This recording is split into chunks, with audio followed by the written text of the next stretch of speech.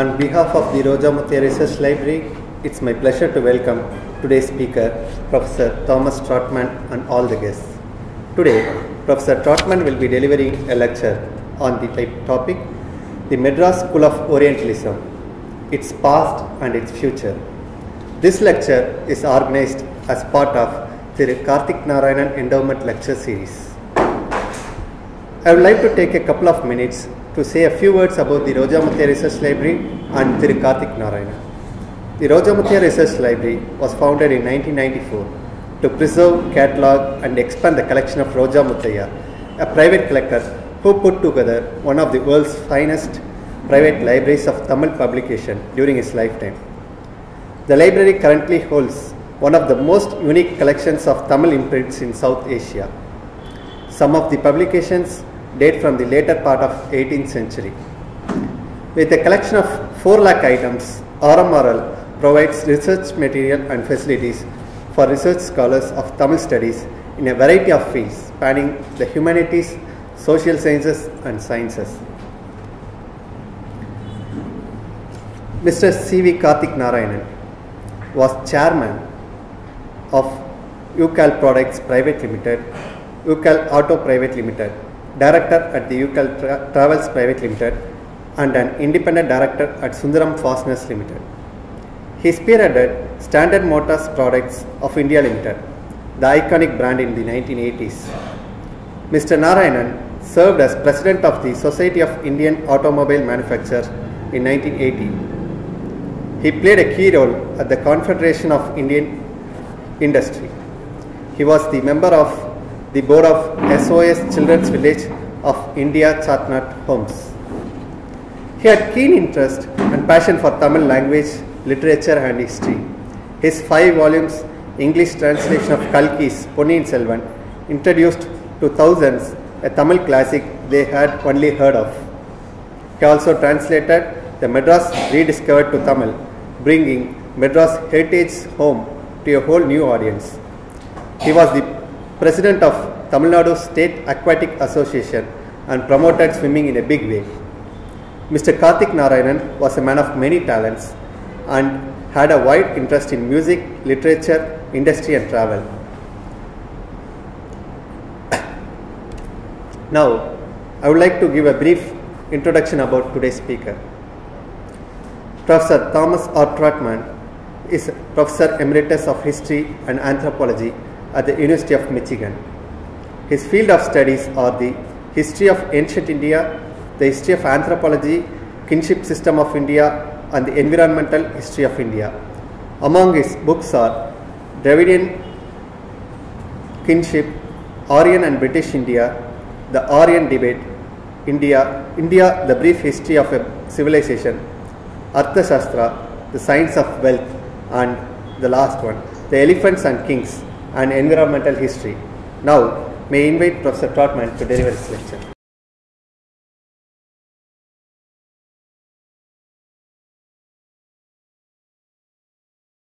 Thank you all for coming.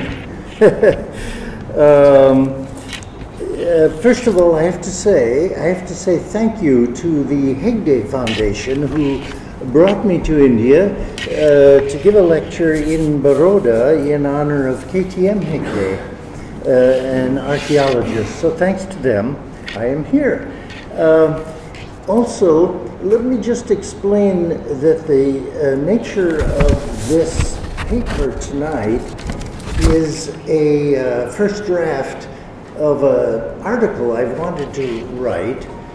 Uh, Ten years ago, I published a collection of articles uh, by various scholars called the Madras School of Orientalism.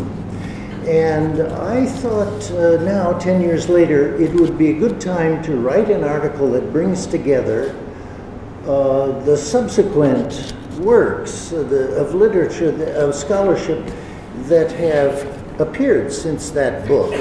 So you're, I, I'm sure I don't know everything that has appeared relevant to this idea, and I'm sure you will give me more material for the article I will finally publish. So uh, please do uh, give me your uh, best advice and suggestions.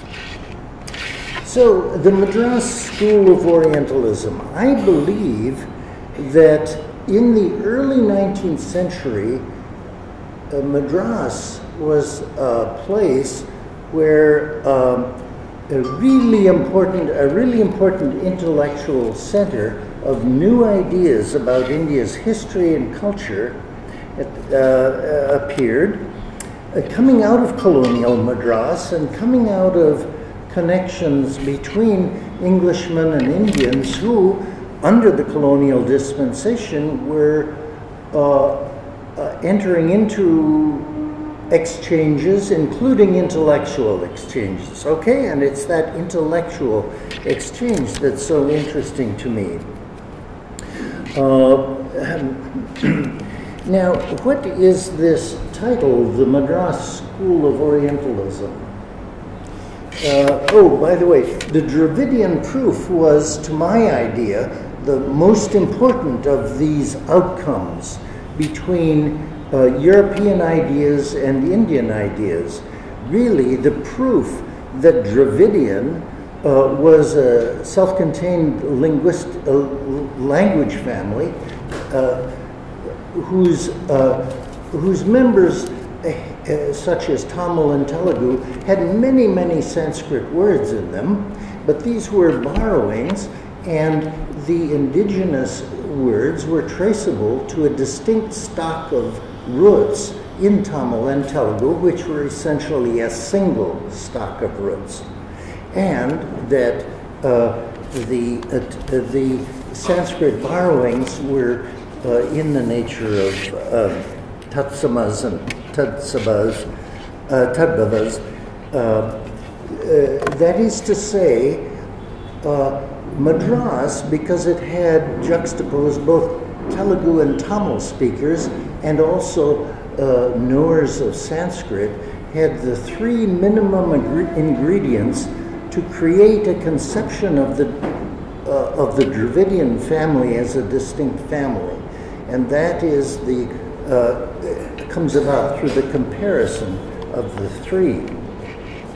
Uh, I won't linger over the Dravidian proof, but only to say that the first published proof came out of Madras in 1816 uh, in the writings of uh, F.W. Ellis, who was the collector of Madras and the creator of the College of Fort St. George, and a, a good Tamil scholar, very good Tamil, Telugu, and Sanskrit scholar, having a circle of uh, uh, fine uh, Indian scholars uh, through which the, the historical approach to language connections of the British, the European notion of languages falling in a genealogy or a family tree uh, of connectivity, uh, joined with the structural analysis that is to be found in Tolkappia and in Panini. Uh, so the, the joining together of these two traditions produces as one of its first outcomes the Dravidian idea and this is an idea which is without precedent. It's new both to Europeans and to Indians. Uh, it's new knowledge that comes about through this exchange. That's what interested me about Madras. Now, uh, what is the Madras School of Orientalism? Well, here I've already told you that Madras is a meeting place of these kinds of scholarship that are coming together in the College of Fort St. George and other institutions. Uh, in what sense is, and Madras is producing ideas that are somewhat different from and critical of the new ideas coming out of Calcutta and the Asiatic Society there, and is asserting its own, Madras is asserting its own uh, command over knowledge of South India and is being a critic, a friendly critic of some of the new ideas of history and, culture coming out of Calcutta. Uh, what is, so that's Madras. uh, why is it a school? Why is it a collective uh, project? Well, uh, let's see if I can find this slide. Here, by the way, is my old uh, cell phone uh, that has two alphabetical orders on it, as you can see. It has, you know, it has the, the, the order of Devanagari and Tamil and so many other Indian scripts deriving from Brahmi, and uh, the Roman script, ABC, uh, which is hopeless and, and, and is uh, arbitrary. But the Indian uh, order of alphabetical order in Indian scripts, such as Tamil and, and Devanagari, uh, is a rational order that has behind it a phonological analysis that is very acute and very old. And this was a tool for the discovery of the Dravidian language, for the proof, the Dravidian proof, based on a comparison of roots. We don't have phones like that anymore. Um, here are a few, I, will rush through this preliminary part. Here are a few differences between outcomes uh, of this new knowledge in Calcutta and in Madras.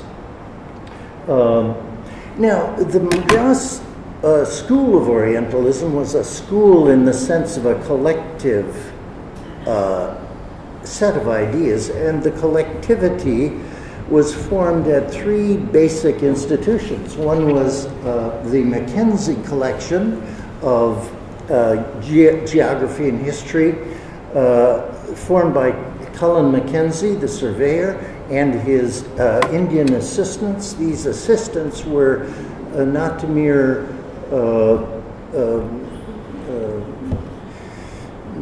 mere servants, they were themselves uh, really able scholars that came out of the out of the governments of uh, native uh, princes whose um, finances were were closing down.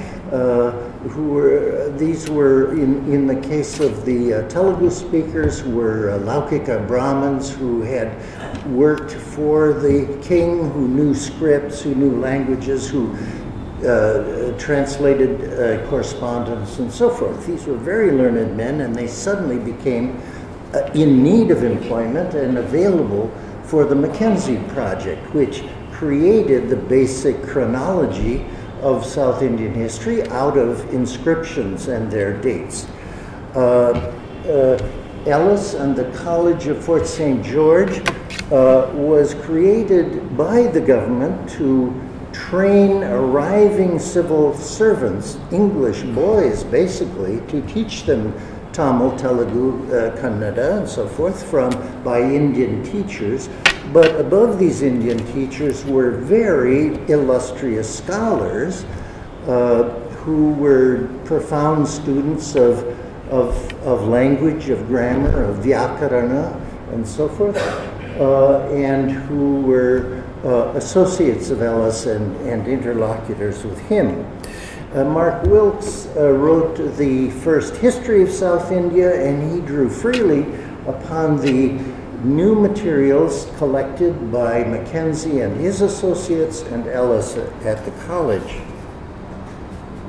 So, Madras School of Orientalism. What is Orientalism? Well, in my view, it is the new knowledge coming out of the study of Indian languages and landscape and inscriptions, uh, and it is uh, combining uh, the conceptual tools of both parties in to create new and unprecedented knowledges, as I've said. Let's see what else we've got here. Here are two books on the Madras School of Orientalism. The first is my own study on the Dravidian proof. Uh, and it, when writing that, I realized there was so much more that I needed really a collaboration of many, many scholars with special knowledge I, I lacked. And so I had a conference in uh, 2007, resulting in this second book in 2009, uh, produced uh, by Oxford University Press in Delhi. Uh, and at the bottom are the list, is the list of the contributors uh, to this uh, volume uh, that appeared as a result of that conference. And that's what I want to assess today, what happened after that. So that's the conference poster. Uh, and here's what I'm going to talk about. After the MSO book, current MSO related products, and here I'm going to tell you things you've never heard before. This is going to be breaking news. And future projects is going to be my wish list, what I want you to uh, uh, research about, if you would be so kind. So uh, that's the plan for this talk. Um, so after the MSO book, uh, very briefly, Paddayya uh, wrote a wonderful uh, review of our book, and it's well worth reading. It's it's produced from the point of view of archaeology. Very fine review. Um, there are a whole slew of books written by the contributors to the MSO book, and these books uh, were not inspired by the conference. They were already in process when the conference started. In a sense, the conference just devises a name to, to put a word to what it is they had in common. And um, so these are, are related works, and I hope to fill this out uh, in the article I will eventually write. Uh, but this is a sampling of them, and I will hurry right along and not discuss these wonderful, wonderful books, but you should read every one of them because they're very good. Oop. What did I do? Um, but uh, I will hurry on to talk about two books, one by uh, Venkateswarlu and another by uh, Marudhanayagam. Uh, Venkateswaram, uh, Venkateswarlu uh, was a professor of uh, political science at uh, in Andhra at uh, Andhra University in Vishakhapatnam. Expert on the civil service, but very interested in the language question and very believing very strongly that um, that Telugu was specifically very important in the emergence of the Dravidian proof. And I, we bumped into each other in the archives in uh, uh, Madras Archives in Egmore in 2003, and we're very happy to find out we were doing much the same thing. He wrote a, a, a lovely book with a lovely cover. Uh, again, I can't uh, go into details, but what's so good about this book for me is that he talks about the Indian scholars who were involved in this process in great depth, all of them Telugu uh, speak, uh, speakers and deep students of uh, Telugu language history. Uh, Mamadi Venkaya, uh, Vedam Pattabhirama Shastri at the College of Fort St. George, um, uh, and many others.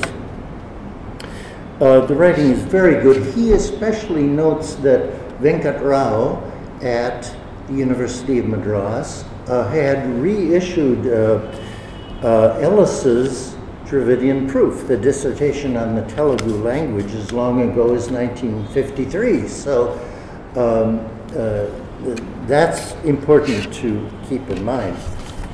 Um, uh, wrote a book uh, called Ellis's Translations from Tamil.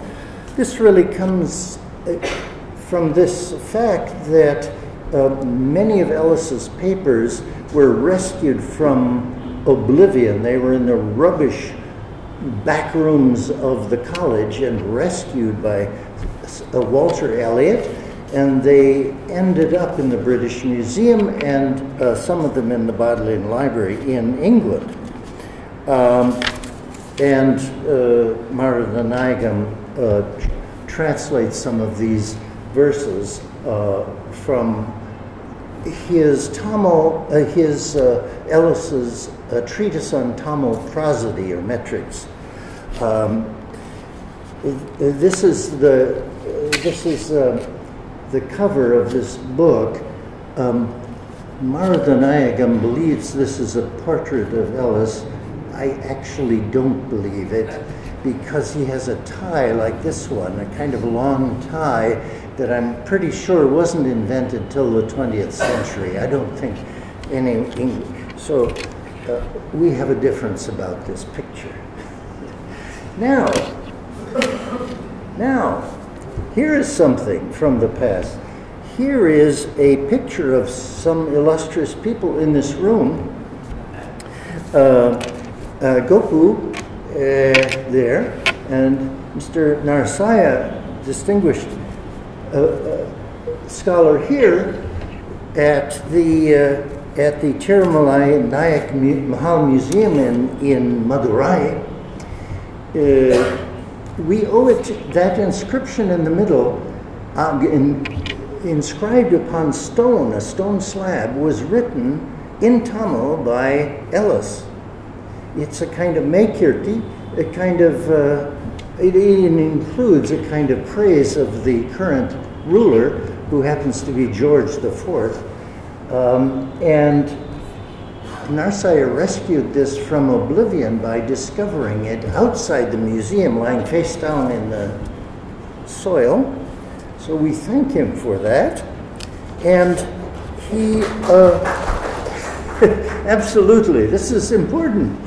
And, and Gopu uh, put this in his website. He, he, gives a translation of the Meykirti, which is very amusing because it, uh, it uh, describes uh, King George as the triple crown king or the, the thrice crowned king, uh, a kind of allusion to ancient Tamil uh, Meykirtis, but referring to the English king claiming to be ruler of England, Scotland, and uh, Ireland. Uh, in this inscription, there's an obscure expression, Yuvelayat, and it is uh, who discovers that this is the name of the governor of Madras, Hugh Elliot. So let's give a very brilliant. One, well done. So those are a few examples of uh, uh, results in the, in, in the recent past since the coming of that uh, book. Now, now I'm going to tell you things that you certainly do not know about, current projects, and there are three of them that, I'm, that I know about. One is the Tamil treatise on cowpox uh, of Ellis. Uh, the original was written in Tamil, and the discoverer is in France, Eman- uh, Manu Emmanuel. He calls himself Manu. His name is Emmanuel Francis, a, a, a Tamilian in the French uh, library system. And uh, Su Fang Ng, or however she pronounced her name, is a Chinese uh, uh, Malaysian scholar uh, who discovered papers of Mark Wilkes in England, in Oxford, in All Souls College Library. And uh, Shibi Lakshman uh, is from this city, a student of Chalapati. Is he here tonight? He is, over there. He is uh, uh, launching on a PhD thesis on the history of the college. So his work is underway and will be very important. Let me tell you about each of these three. Uh, well, let's back up. Start with Manu Francis. In my uh, first book, I I found uh, I found two copies of the Ellis English translation of his own Legend of the Cowpox, as it's called. What is the Legend of the Cowpox? It is written in Tamil, a colloquy between Shakti and Dhanvantari about the new smallpox vaccination. Now, you may remember that Edward Jenner discovered that in England, uh, milkmaids uh, did not catch smallpox because they were uh, in contact with cowpox, a uh, something that attacked the udders of cows, and that gave them a kind of immunity. Now, at the time, the British uh, government was trying to inoculate everyone in India with this new smallpox uh, vaccine made out of the cowpox uh, uh, uh, material. And we're trying to compose treatises or propaganda pieces in native, in Indian languages to promote this. Ellis created such a thing, and it was in the form, as I've described, as a kind of Purana, a kind of uh, uh, colloquy between the goddess and the and the uh, physic- physician of the gods, the Dhanvantari, in which they discuss this new uh, uh, uh, vaccine, but Ellis had the clever idea of calling this boon, this new boon of the goddess, a, a sixth gavya, a sixth holy product of the cow, uh, given as a benefit to mankind. And it was a benefit of, to mankind because the, god, the goddess, in her anger, had cursed mankind to have smallpox she then, out of compassion, mitigated the, the, the curse by imposing a limit to it, an anta. And this limit took the form of the sixth gavya, the sixth product of the cow. Now, Manu Francis found the original, I'm sorry it's hard to read, found the, an original manuscript copy of Ellis's Tamil uh, thing, uh, uh, treatise on the cowpox, which is called the Sixth Vara, the Sixth Boon, you know, illumination of the sixth great boon, the, the Gavya, the sixth Gavya, and of the goddess. And uh, here are some, here's one of the pages of that manuscript he found. Uh, and he's published an article in French on that uh, a short uh, discussion of that, but I'm encouraging him to put the whole darn thing online, and uh, he uh, means to do so uh, soon. Let's see. Huh. Let me go back to this list. So that's one. There, he, uh, Manu Francis has already published a kind of announcement that's online, and I can help you find that if you want to. Uh, but he's uh, working on a fuller publication, and it's really quite exciting to see that. Uh, it, it, somehow, the French, uh, one of the French libraries, happened to buy a collection of manuscripts from South India and Ceylon, and in it was this Tamil composition by Francis F.W. Ellis on the smallpox vaccine. An amazing thing. Second is also amazing.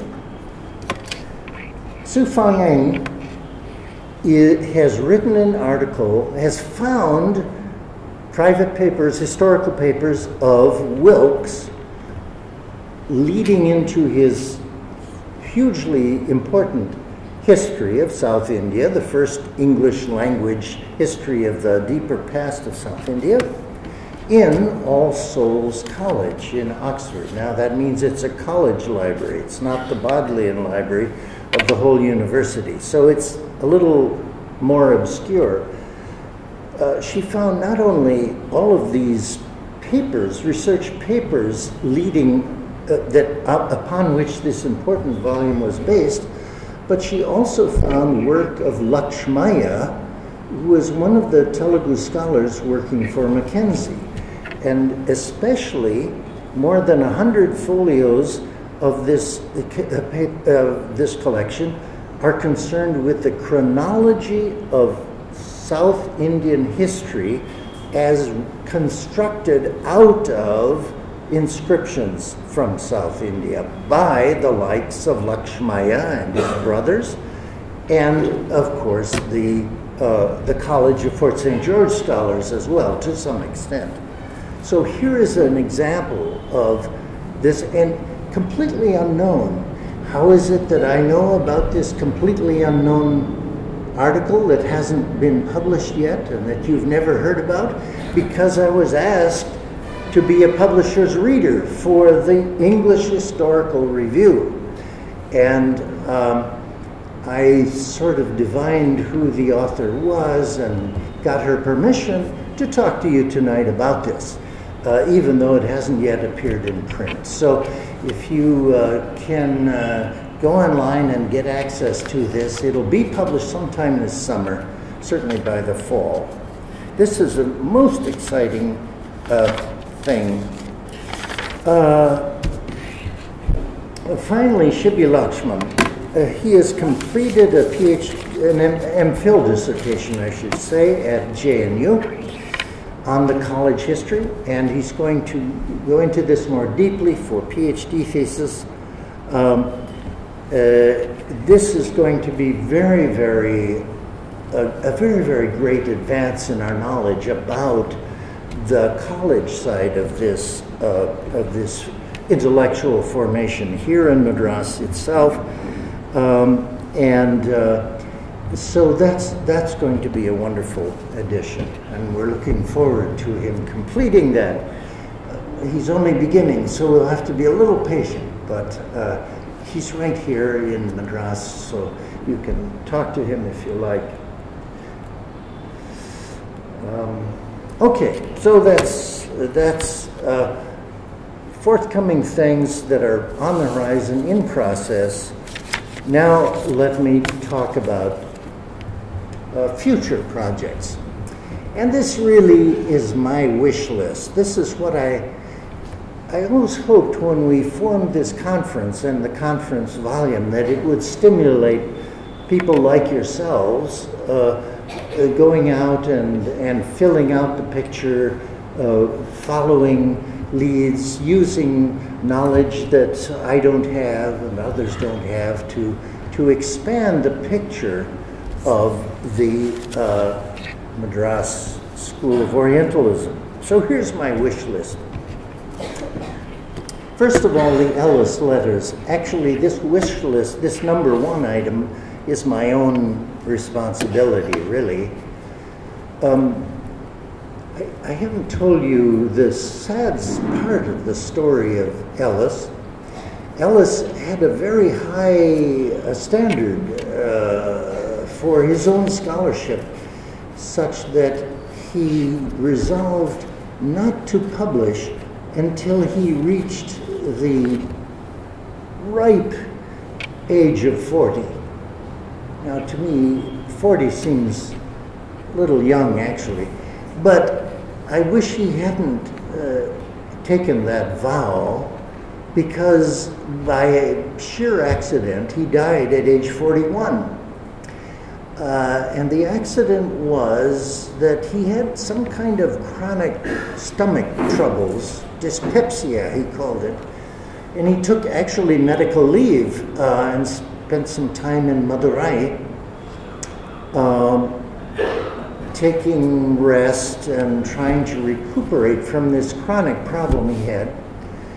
Uh, and he was medicating himself when he reached for the wrong bottle and accidentally poisoned himself and died slowly uh, after three or four hours of agony during which he wrote a will and, uh, you know, made provision for the settling of his estate. But basically, he was, uh, you know, he was unmarried, he had no family, he died. Uh, without, uh, and, and there was no one from the family to uh, serve the purpose, so the court uh, appointed a appointed an executor and his books were sold, his manuscripts were sold.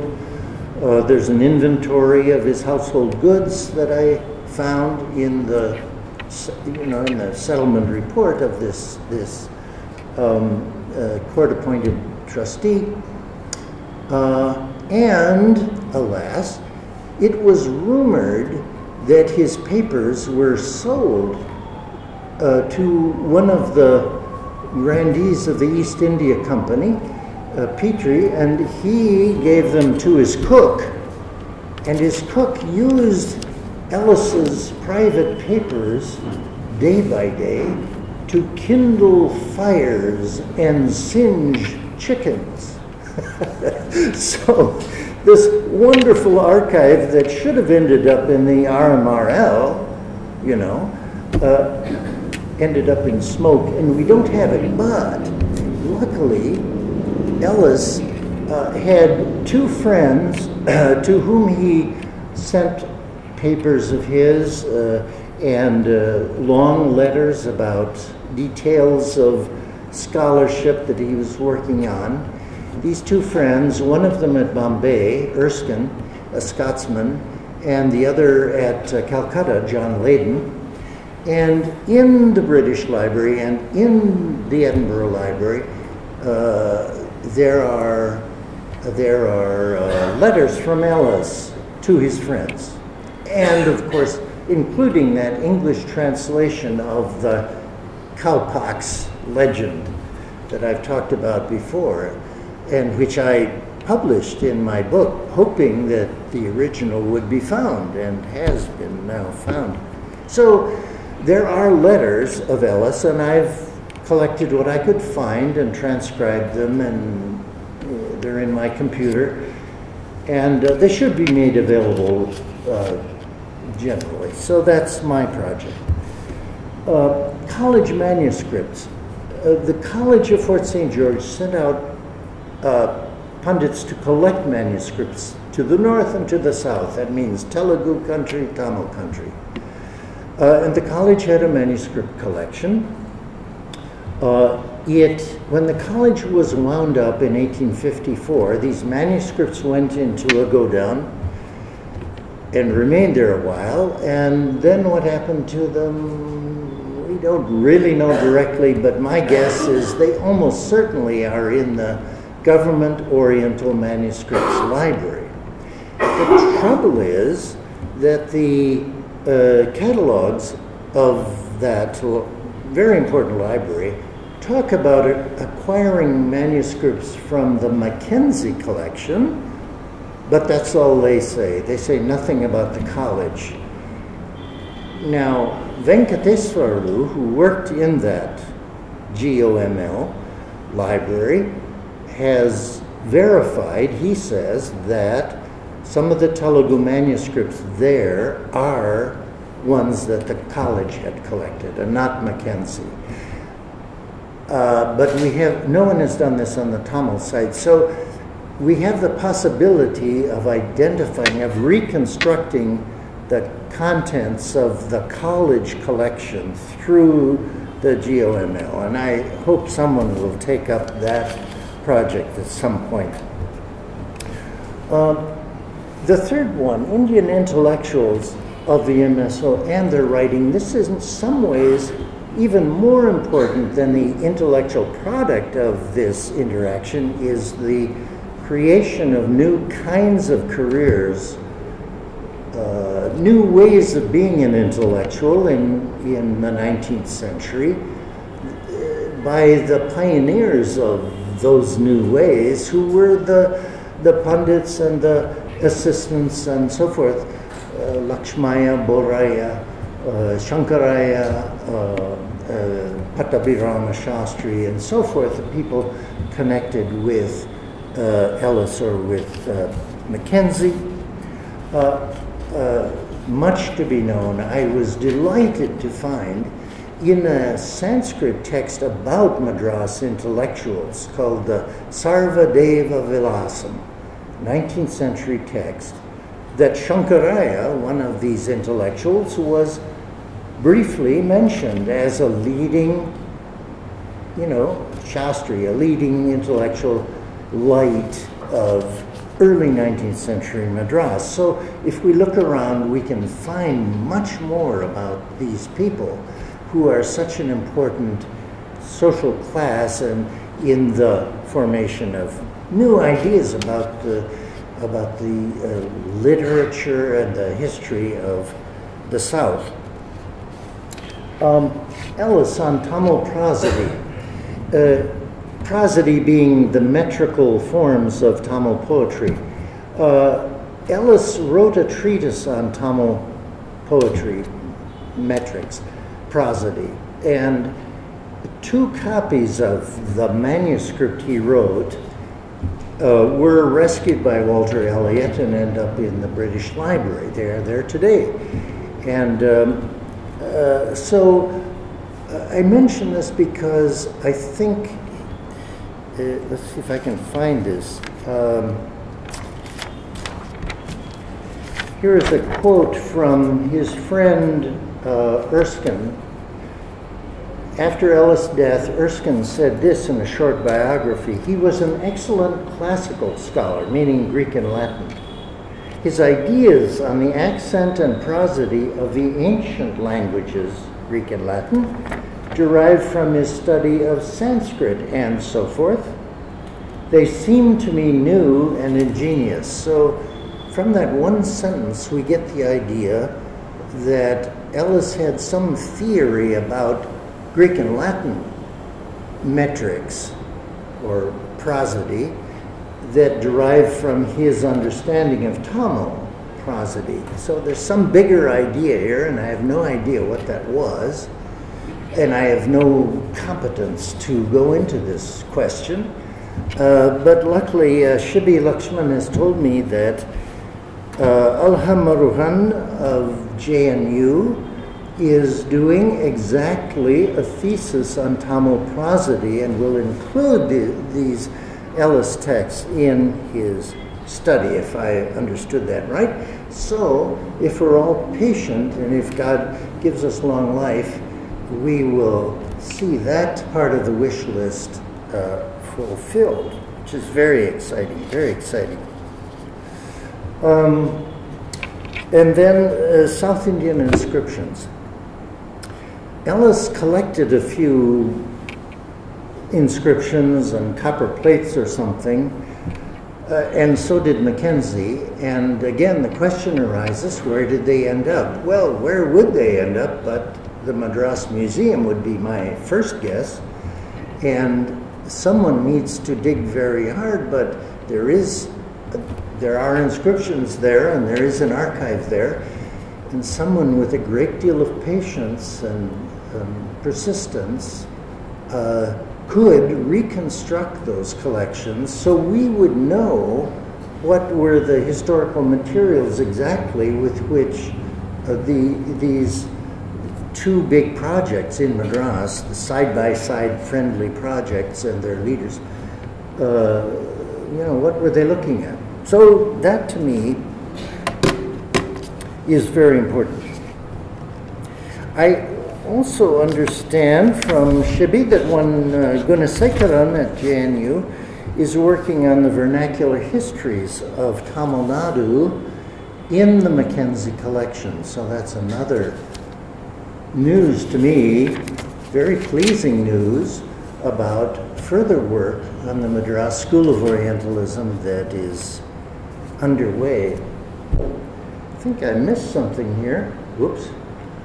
Um, what I didn't put on the somehow got fell off the bottom. Uh, Madras Journal of Literature and Science, uh, formed in 1812 with Ellis in Ellis' lifetime with his active participation. Uh, it was inaugurated really the same year as the college.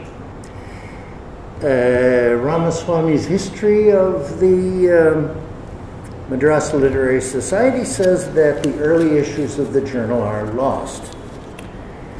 Uh, the earliest surviving one being the fifth volume of 1837. Anything that we could do to reconstruct those lost volumes, meaning the content of them and the authors of the pieces. What were the names of the pieces? What, who were the authors? What were they concerned about? Even if we can't recover the, the actual papers would be wonderful. And we might be lucky uh, to find some of these papers as off prints among uh, the papers probably in the British Library of the, uh, at least of the European uh, scholars connected with the Madras Journal. So the, this is my wish list, and I hope uh, you'll help me do this. Uh, final thoughts, and I'll, with this I'll close and, and take your comments and questions. Uh, for some years, I've been writing books about Orientalism and response to the uh, big book of Edward Said called Orientalism. Uh, I've been pains to acknowledge the power, unequal power relations of which Edward Said makes so much, but we mustn't bracket out the fact that there was a politics behind Orientalism that put the British on top and the Indians below them. But acknowledging that, we still have to say that even though unequal, the intellectual relations between Englishmen and Indians in colonial Madras was an intellectual relation, and it did involve bringing to that relation conceptions from both sides. As, for example, in the Dravidian proof, from the European side comes the decision to treat Sanskrit or any other language as a, histor- as a product of history, not as an eternal, and changing thing uh, that, that is timeless, that, that lacks a history. So eternal Sanskrit goes out the window, and Englishmen educated in universities in Europe, we in Greek and Latin come to India and discover wait, Sanskrit sounds like Latin and Greek. You know, it has a lot of similarities, and that's the beginning of the Indo European conception of Sir William Jones at Calcutta. One that's very important and that persists to this day. So uh, I particularly object to Edward Said's formulation when he treats Orientalism merely as a European invention to dominate India. It's a kind of virgin birth of knowledge without the, any inputs from the Indians themselves. It sort of just treats it as a kind of bag of bag of bad faith uh, ideas for perpetuating power. Uh, it leaves the Indian people out of it, and I want to argue to the contrary, though in unequal, the relations over ideas of history, language, and so forth were ones in which analytical techniques of both sides entered into it. The European idea of historical process and historical attitude towards language and so forth combines with the structural analysis of Tolkappiyam and, and uh, Anani and the analytical categories uh, that were generated for analysis by those uh, Indian traditions that are very ancient and very present and actually got sort of folded into modern historical linguistics, international historical linguistics, and are at use, use today. In no country in the world has the research program of Orientalism, in Said's sense, been more heavily applied than India. And India has suffered from it. The colonial studies model displaces Indians as the subjects of Indian history, replacing them with their colonial European rulers. That's why I like the Dravidian proof as the best counterexample of that. Uh, Indian contributions have been recognized fully, most fully, by the English phoneticians, such as W.S. Allen in his book Phonetics in Ancient India. Uh, he fully recognizes the, the substantive and analytic contributions of the Indian tradition in grammar.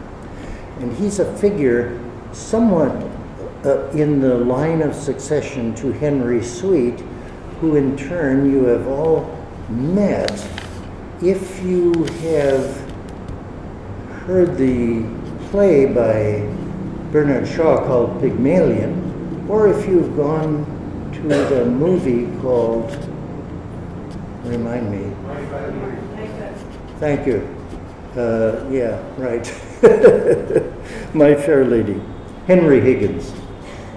That's, that's, the, that's the one. uh, so, um, alas, um, uh, with the worldwide growth of hypernationalism, analysis is moving further in the wrong direction, in my view, towards sharply opposing identity formations. Uh, here is English thought or European thought, here is Indian thought or European thought. There's no overlap. They belong in separate boxes, and the one imposes on the other. It's a hideously simplified model, uh, and one which is uh, becoming more and more popular, unfortunately. So, this is what I so like about, for example, Shibi Lakshman's uh, thesis and what it says about the college, which locally was called the Chennai Kalvi Sangam. The College of Fort St. George was called the Chennai Kalvi Sangam. You know, with its, uh, its gesture toward the deep past in that word Sangam. Uh, it's a new fo- formation, but it signaled its cultural continuity from the deep past uh, and with a, with a long past, but also its newness. Well, those are some of the ideas that have made me think I should write this article and publish it somewhere and hope to engage you here tonight uh, in, uh, in uh, telling me other things I should put into it. So thank you very much for your patience.